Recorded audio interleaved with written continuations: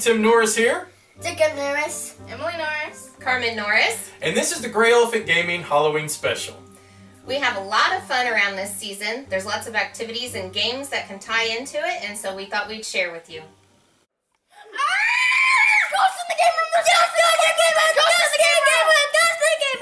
Ghost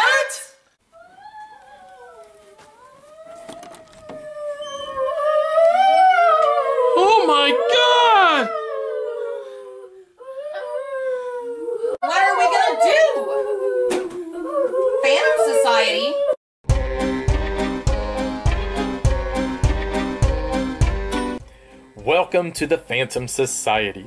This is a game where you get to play as either ghosts or ghost hunters.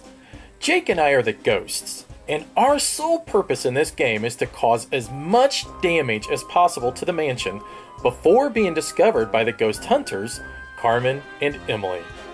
To set this game up, in turn, the a hunter and then a ghost will place a room tile somewhere within the mansion. Emily's a ghost hunter. She just placed her room tile. I, being a ghost, now get to place a tile of my own. After that, the ghost hunters must close their eyes while the ghosts secretly place one of their two ghosts underneath a room tile of their choice that matches the color of their ghost. For instance, I have a green ghost, I have to place him underneath a green room tile. After that, you want to make sure you write down your room number so you don't forget where your ghost is. The ghost then will start tearing up the rooms that are adjacent to them. Notice we just removed a tile. Ah, but then inadvertently the ghost hunters will cause damage as well. Three ghosts have been discovered, and if you notice, there's not many room tiles in the ghost hunters pile, while the ghosts have caused a lot of damage. Can the ghost hunters pull out a win here by discovering the fourth and final ghost? Yes, they do. Okay, alright, well, thank you. We'll see you then. Alright, bye. Hey, honey, uh, supposedly the Phantom Society's busy, but I called a phone number in the book. Guess these guys are a couple of real pros. We're here to help.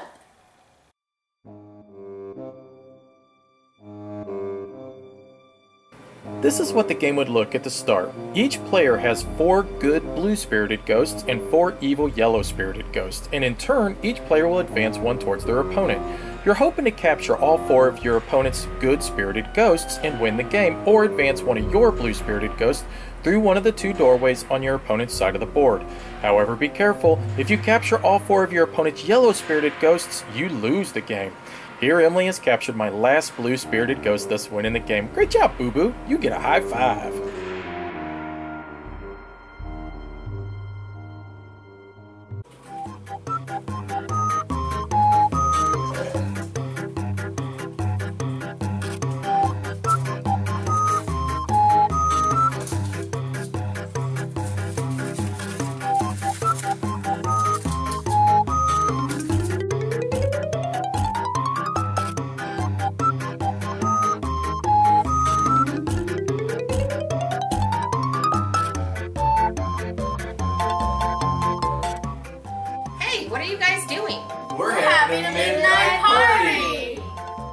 Somebody say party?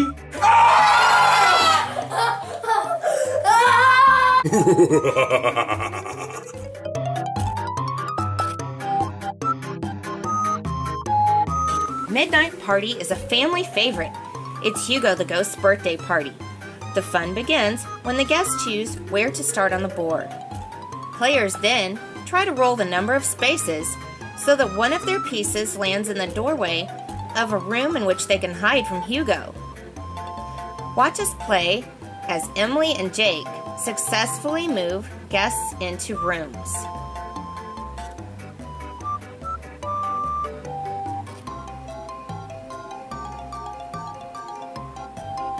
Tim has to move Hugo.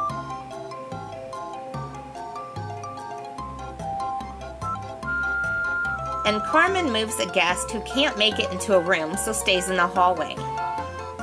When Hugo is on the stairs, he moves up one space.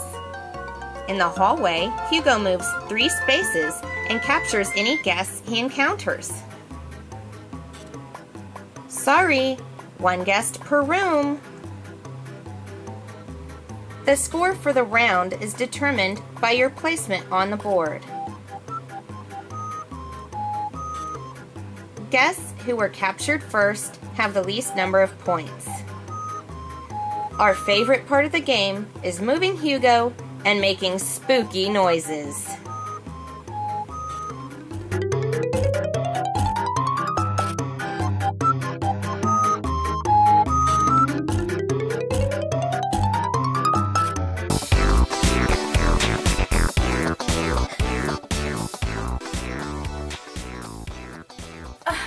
Billy won the costume contest.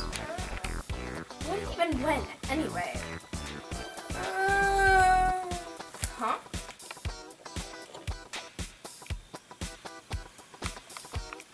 Hey guys, it's a game.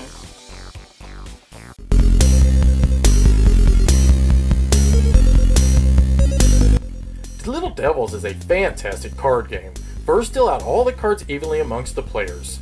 Next, the starting player is going to place a card on the table that has a numeric value. The next player is then going to determine whether all players have to go higher or lower.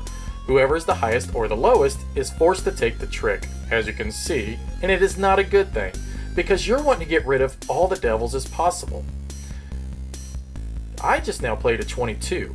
Carmen is going to decide to go higher or lower. She played a 23, which is going to force Emily to have to go higher than the 22 as well. She's going to be forced to take this trick, so she plays a card that has no devils on it. Smart move, boo boo.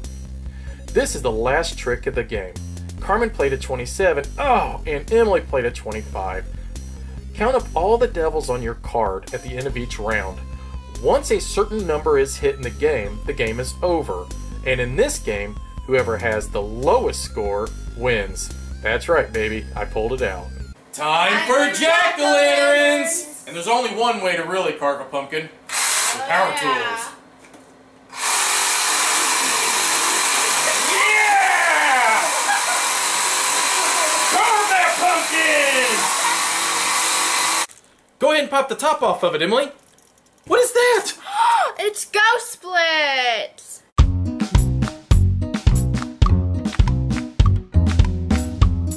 In Ghost Blitz, Baldwin the Ghost needs help capturing objects that either match the item and color on the card, such as this white ghost on this one. Carmen was able to capture the white ghost, thus, she gains the card plus any card from any other player who chose the wrong object. There's a total of five objects a green bottle, a white ghost, a red chair, a blue book, and a gray mouse. Ah, Tim's decided and he's got it. There's green on the card, so it can't be the bottle, can't be white, and it can't be the chair. It also can't be the book because the book on the chair wasn't blue. So it had to be the gray mouse. It's either objects that appear, such as the white ghost, in full, or objects that just simply aren't there. Then the next card will be flipped and everybody makes a mad scramble, and as you can see, we have an awful lot of fun with this game. It's very challenging. And when the last card is taken, the game is over. Everybody at that point in time should take all their cards and start counting them up and see who had gotten the most cards to win the game. In this case, we all decided we're equally awesome, so we all win.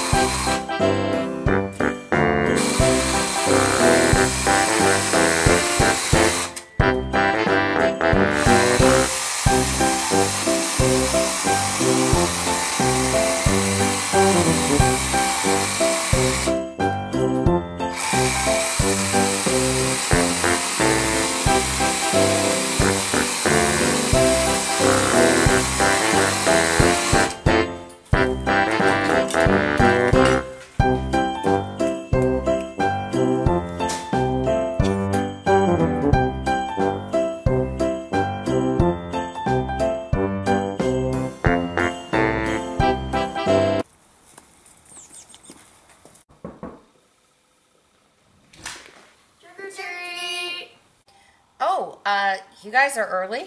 Hold on. Hey, for you. For you. Have fun! What did you get? I got a bunch of bananas. What did you get? I got a game. Cool.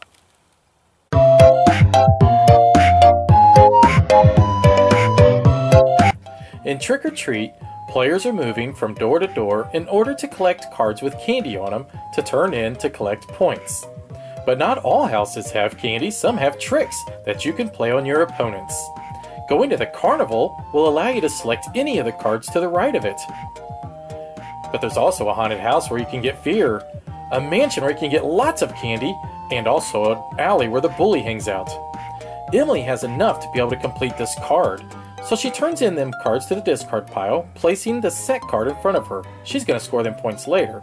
Whenever you can't replace one of the set cards, the game is over, and everybody then is going to take all of their cards, adding up all the points on the bottom of them. Whoever has the most points wins. This game is a lot of fun, and we highly recommend it for anybody with kids.